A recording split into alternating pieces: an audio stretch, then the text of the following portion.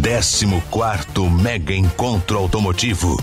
Você vai estar tá no Mega, né? Vai, sempre. Como é que a gente conhece o cara que vai estar tá no Mega, né, Juliano? Ô, Júnior, você viu? Falar de, de rebaixado, de suspensão, é isso aí, né, Júnior? É galera. Pronto pro Mega Encontro, 14 edição. E tamo junto, né, galera? Ó, pela primeira vez, campeonato de rebaixados, homologado pela DB Drag Race, viu, Júnior?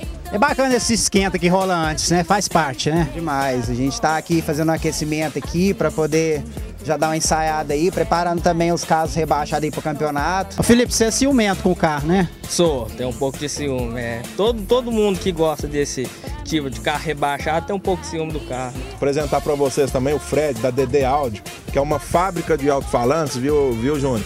Que é de Uberlândia e vende pro Brasil todo, isso é importante saber, e patrocinador do Mega Encontro.